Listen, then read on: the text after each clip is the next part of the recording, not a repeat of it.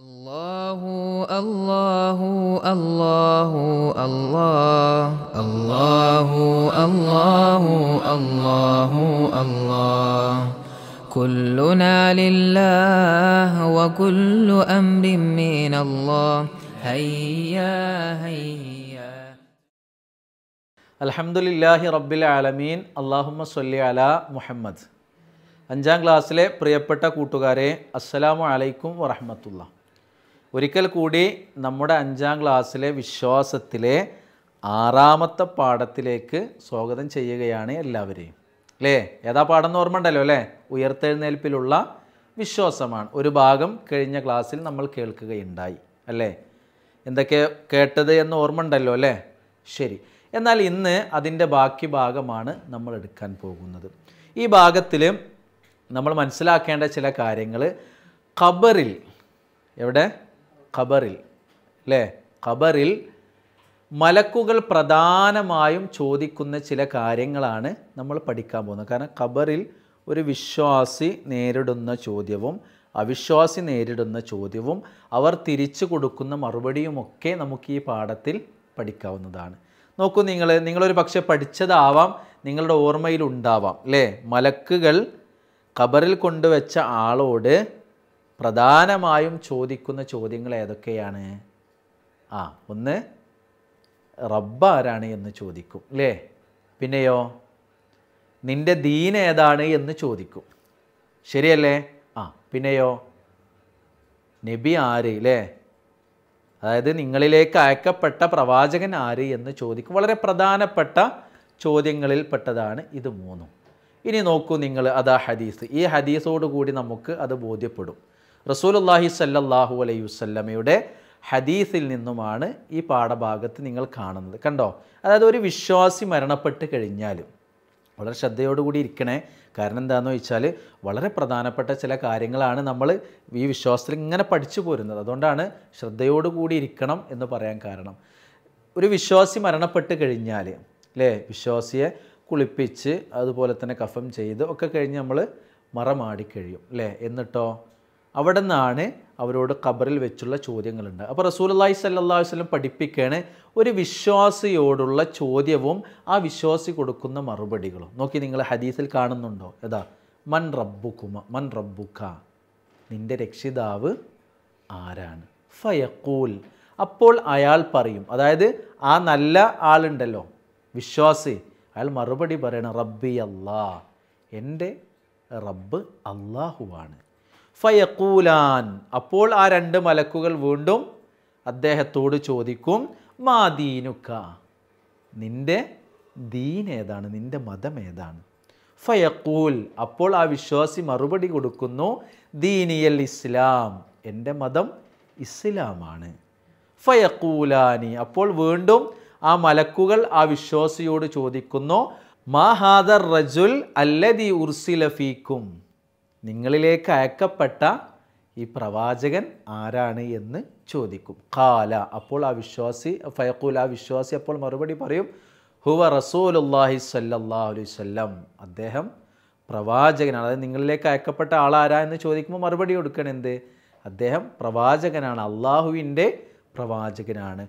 ഫയക്കൂലാൻ അപ്പോൾ ആ രണ്ട് മലക്കുകൾ വീണ്ടും അദ്ദേഹത്തോട് ചോദിക്കും വമാ ഇൽ മുക്ക എന്താണ് നിങ്ങളുടെ അറിവ്? നിങ്ങൾക്കുള്ള അറിവ് എന്താണ്?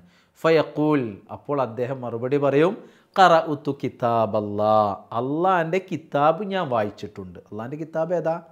ഏതാ? ആ ഖുർആൻ. എന്ന് പറഞ്ഞാൽ ഖുർആൻ ഞാൻ വായിച്ചിട്ടുണ്ട് പാരായണം ചെയ്തിട്ടുണ്ട്. ഫ ആമൻ തുബിഹി അത് ബേസ് ചെയ്ത് ഞാൻ വിശ്വസിച്ചിട്ടുണ്ട്. അതിൽ ഞാൻ വിശ്വസിച്ചിട്ടുണ്ട്. വസദ്ദഖ്തു ബിഹി ഞാനത് സത്യപ്പെടുത്തിയിട്ടുണ്ട് എന്ന് പറഞ്ഞാൽ ഖുർആൻ ഓതുകയും പഠിക്കുകയും അതിൽ വിശ്വസിക്കുകയും അത് ജീവിതത്തിൽ പകർത്തുകയും ചെയ്തിട്ടുണ്ട് എന്ന് ആ വിശ്വാസി മലക്കുകൾക്ക് എന്ത് ചെയ്യും? മറുപടി കൊടുക്കും. നോക്കൂ നിങ്ങൾ എത്ര സുന്ദരമായ അവസ്ഥ. റസൂലുള്ള നമുക്കിത് വിശദീകരിച്ച് തരുമ്പോൾ തന്നെ നമ്മുടെ മനസ്സിനൊരു സന്തോഷം തോന്നുന്നുണ്ട് ഇല്ലേ? കാരണം എന്താ? അവർ ചോദിക്കുന്നു ഇദ്ദേഹം മറുപടി കൊടുക്കുന്നു. ഒക്കെ. നല്ല അവസ്ഥയാണ്. മലക്കുകൾ ചോദിക്കുമ്പോഴേക്കും ആർക്ക് മറുപടി കൊടുക്കാൻ കഴിയുന്നു? വിശ്വാസിയായ ഒരു മനുഷ്യന് മറുപടി കൊടുക്കാൻ കഴിയുന്നു. ഒരു പ്രശ്നമല്ല. എന്നാൽ നിങ്ങൾ അടുത്ത ഹദീസ് ഒന്ന് നോക്കൂ ബുക്കിലെ. അവിടെ എന്താണ്? അവിശ്വാസിയുടെ ഖബറിലെ അവസ്ഥയാണ് പറയുന്നത്. അത് റസൂലുള്ളാഹി സല്ലാസ്ലും വിശദീകരിച്ചു തരുന്നത് നേരത്തെ നമ്മൾ കേട്ടിട്ടോ? അതേ ചോദ്യങ്ങൾ അവിടെ ചോദിക്കുന്നത്. അപ്പോൾ എന്താണ് അവിശ്വാസിയുടെ മറുപടി എന്ന് നമുക്കൊന്ന് നോക്കാം. നോക്കൂ നിങ്ങൾ. ഫയക്കൂലാൻ ആ രണ്ട് മലക്കുകൾ ചോദ്യം ചോദിക്കാൻ വരുന്ന മലക്കുകളുണ്ടല്ലോ. അവർ എന്ത് ചെയ്യും?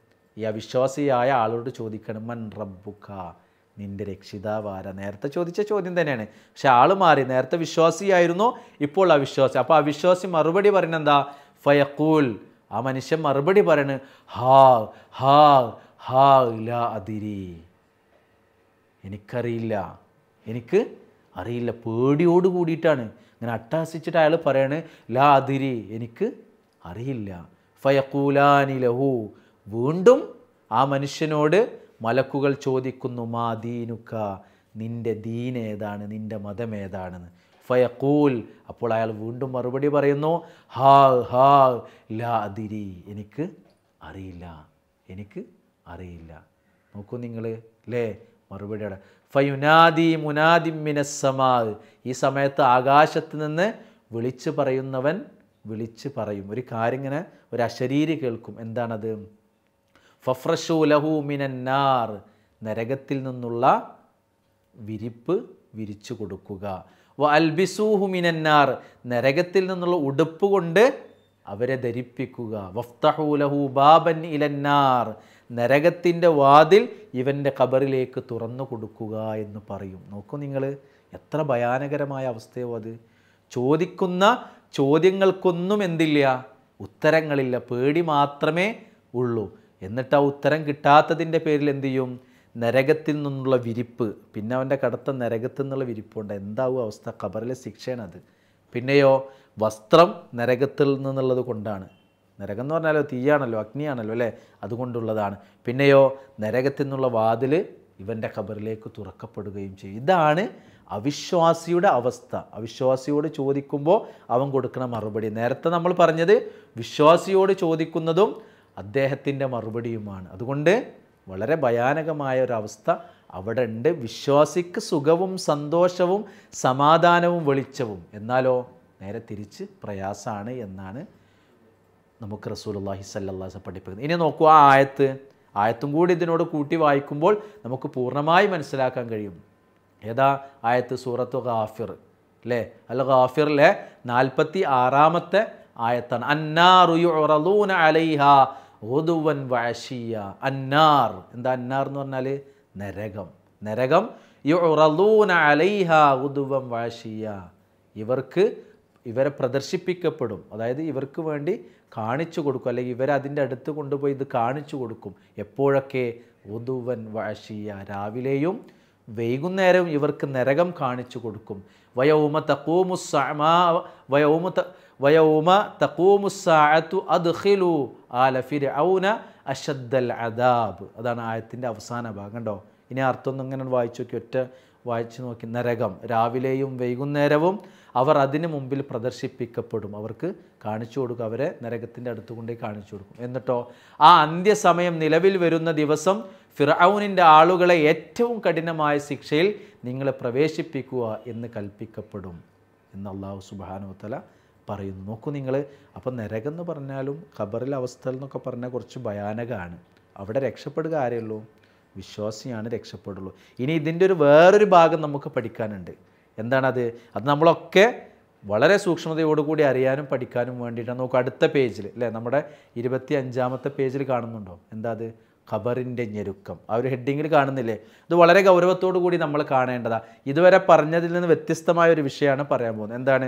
നോക്കൂ നിങ്ങൾ നബി സല്ലല്ലാഹു അലൈഹി വസല്ലമ പറഞ്ഞു ആരെങ്കിലും ഖബറിന്റെ ഞെരുക്കത്തിൽ നിന്ന് രക്ഷപ്പെടുമായിരുന്നുവെങ്കിൽ സഅദുബിന് മുആദ് റളിയല്ലാഹു അൻഹു രക്ഷപ്പെടുമായിരുന്നു. എന്താ പറഞ്ഞത് റസൂലുള്ള?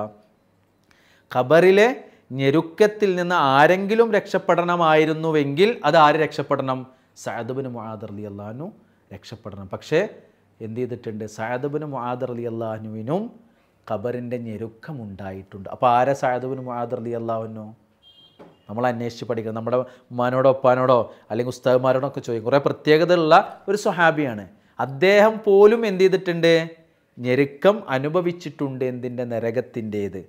അപ്പോൾ ഞെരുക്കം അനുഭവിക്കാതിരിക്കണമെങ്കിൽ അത് ആരാകുമായിരുന്നു? സാദുബിന് ആദർ അലി അള്ളാഹുനും ആകണമായിരുന്നു. പക്ഷേ അദ്ദേഹത്തിനും ഞെരുക്കമുണ്ടായിട്ടുണ്ട്. ഇതിനർത്ഥം എന്താ എല്ലാവരെയും ആ ഖബറൊന്ന് ഞെരുക്കും. അല്ലേ ഇതിനെ സല്ലാസ്ലം പറഞ്ഞാണ്. അപ്പോൾ ഖബറിന് കഠിനമായൊരു ഞെരുക്കമുണ്ട്. ആരും ആ ഞെരുക്കത്തിൽ നിന്ന് രക്ഷപ്പെടില്ല. വിശ്വാസിക്ക് ഞെരുക്കം കഴിഞ്ഞ ശേഷം വിശാലമാകും. എന്നാൽ അവിശ്വാസിക്കോ? ഞെരുക്കം തന്നെ തുടർന്നു കൊണ്ടേയിരിക്കും അതാണ് പ്രത്യേകത. വിശ്വാസിയും അവിശ്വാസിയും തമ്മിലുള്ള വ്യത്യാസം. പ്രത്യേകത എന്താ? രണ്ട് ടീമിനും വിശ്വാസിക്കും അവിശ്വാസിക്കും ഞെരുക്കുണ്ട്. പക്ഷേ വിശ്വാസിക്ക് ഞെരുക്കം കഴിഞ്ഞാൽ എന്തുണ്ട് വിശാലതയുണ്ട് പിന്നെ വിശാലതയാണ് ആ ഒരു ഞെരുക്കം കഴിഞ്ഞാൽ. എന്നാൽ അവിശ്വാസിക്കോ ഞെരുക്കമുണ്ട് ആ ഞെരുക്കം തന്നെ തുടർന്നു പോകും അവർക്ക് വിശാലതയില്ല എന്ന് റസൂലുള്ളാഹി അള്ളാഹി വസല്ലം നമുക്ക് പഠിപ്പിച്ചെന്നുണ്ട്. പിന്നെ എന്താണ് നമുക്ക് പരിഹാരം? ഖബർ ശിക്ഷയിൽ നിന്നും നമ്മൾ രക്ഷ ചോദിച്ചുകൊണ്ടേയിരിക്കണം. ഏ? ഖബർ ശിക്ഷയിൽ നിന്ന് രക്ഷ ലഭിക്കാനുള്ള മുഴുവൻ കാര്യങ്ങളും സ്വല്ലല്ലാഹു അലൈഹി വസല്ലമ പ്രാർത്ഥനകളായിട്ടും നല്ല നല്ല കർമ്മങ്ങളായിട്ടും നമുക്ക് പഠിപ്പിച്ചെന്നുണ്ട് അത് നമ്മൾ എന്ത് ചെയ്യണം? ജീവിതത്തിൽ പ്രാവർത്തികമാക്കണം. അപ്പം നിങ്ങൾ നോക്കൂ നമ്മുടെ നമസ്കാരത്തിന്റെ പ്രാർത്ഥനകൾ പഠിച്ചെടുത്ത് നമസ്കാരം അവസാന സലാം വീട്ടുന്നതിന്റെയൊക്കെ അല്ലേ? അവസാനത്തെ തഷഹുദിൽ നമ്മൾ പ്രാർത്ഥിക്കുന്ന പ്രാർത്ഥന ഉണ്ട് അള്ളാഹുമ ഇന്നി അഊദു ബിക്കമിൻ അദാബിൽ ഖബർ എന്നൊക്കെ പറഞ്ഞ ഖബറിന്റെ അദാബിൽ നിന്ന് രക്ഷപ്പെടുത്തണേ. അപ്പോൾ അതെന്ത് ചെയ്യുക? അത്തരം പ്രാർത്ഥനകൾ നമ്മുടെ ജീവിതത്തിൽ നിസ്കാരത്തിലാണ് അതല്ലാത്ത സമയങ്ങളിൽ പ്രാർത്ഥിക്കേണ്ടതൊക്കെ പഠിപ്പിച്ചെന്ന് നബി വസല്ലം അപ്പോൾ അത്തരം പ്രാർത്ഥനകൾ പഠിക്കണം. എന്തിന്?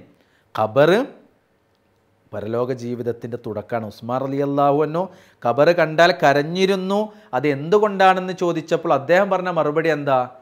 ഖബർ ആദ്യത്തെ ഭവനാണ് പരലോകത്തേക്കുള്ളത്. അവിടുന്ന് ഒരാൾ രക്ഷപ്പെട്ടാൽ പിന്നെ അദ്ദേഹത്തിന് അതൊക്കെ എളുപ്പമാവും. പിന്നെ അങ്ങോട്ടുള്ള കാര്യങ്ങളൊക്കെ എളുപ്പമാവും. അതിൽ പരാജയപ്പെട്ടാലോ? പിന്നെ അങ്ങോട്ടുള്ളതൊക്കെ വളരെ കഠിനമായിരിക്കും. അതുകൊണ്ട് ഖബറിൽ രക്ഷപ്പെട്ടാൽ നമുക്ക് പിന്നെ അങ്ങോട്ട് എളുപ്പമായിരിക്കും കാര്യങ്ങൾ. അതുകൊണ്ട് അതിൽ രക്ഷപ്പെടാനുള്ള മാർഗങ്ങൾ പ്രാർത്ഥനകളായും പ്രവർത്തനങ്ങളായും നബി സല്ലല്ലാഹു അലൈഹി വസല്ലം പഠിപ്പിച്ചെന്ന കാര്യങ്ങൾ കൂടി മനസ്സിലാക്കി അത് ജീവിതത്തിൽ നിസ്കരിക്കുമ്പോഴൊക്കെ നമ്മൾ പലപ്പോഴും എന്താണെന്ന് വെച്ചാൽ അവസാനത്തെ തശഹൂദൊക്കെ പലപ്പോഴും നമ്മൾ സ്പീഡിൽ നമ്മൾ വേറൊരു തിരക്കിലേക്ക് ഓടിച്ചെല്ലാനുള്ളതുകൊണ്ട് നിസ്കാരമൊക്കെ പെട്ടെന്ന് അടിച്ചു തീർക്കുമ്പോൾ അങ്ങനെയൊക്കെ ഓട്ടോമാറ്റിക്കായി പോണ ചില പ്രാർത്ഥനകളാണല്ലേ. നമ്മുടെ അവസാനത്തെ തശോദിലെ പ്രാർത്ഥനകളൊക്കെ അതൊന്നും അങ്ങനെ പാടില്ല. എന്ത് ചെയ്യണം? ഒക്കെ ആത്മാർത്ഥമായിട്ട് മനസ്സ് തട്ടി അതിന്റെ അർത്ഥം അറിഞ്ഞ് എന്ത് ചെയ്യണം? അഊദുബിക്ക മിന അദാബിൽ ഖബർ എന്നൊക്കെ ആത്മാർത്ഥമായി മനസ്സിന്ന് വരുന്ന പ്രാർത്ഥനയായി മാറണം. എന്നാലേ അള്ളാഹ് നമ്മളിൽ നിന്ന് സ്വീകരിക്കുള്ളൂ. അതുകൊണ്ട് അത്തരം കാര്യങ്ങൾ ശ്രദ്ധിക്കണം. നമ്മുടെ ഈ പാഠം അല്ലേ? ആറാമത്തെ പാഠം ഉയർത്തെഴുന്നേൽപ്പിലുള്ള വിശ്വാസം ഇൻഷാ അള്ളാ ഇവിടെ അവസാനിക്കുന്നു. ഇതിന്റെ വർഷീറ്റ് വരും. നിങ്ങളത് കൃത്യമായി ചെയ്യണം. മാത്രമല്ല ഈ ക്ലാസ് കഴിഞ്ഞ ഉടനെ ഈ പാഠം ആറാമത്തെ പാഠം ഒന്ന് പൂർണമായിട്ട് ആദ്യം മുതൽ അല്ലെ? കഴിഞ്ഞ ക്ലാസ്സിലെടുത്ത ഭാഗവും ഈ ക്ലാസ്സിലെ ഭാഗവും ഒന്ന് ആദ്യം മുതൽ അവസാനം വരെ വായിച്ച് നോട്ട് ചെയ്യാനുള്ളതൊന്ന് എന്ത് ചെയ്യണം? പാഠപുസ്തകത്തിലേക്ക് നോട്ട് ചെയ്യണം. എന്തെങ്കിലും സംശയം വരുമ്പോൾ ഈ വീഡിയോ വീണ്ടും കണ്ട് നമ്മൾ ആ സംശയം തീർക്കുക കൂടി വേണം. വീണ്ടും സംശയം വരികയാണെങ്കിൽ നമ്മുടെ ഉസ്താദുമാരും നമ്മുടെ മാതാപിതാക്കളൊക്കെ ഉണ്ട്.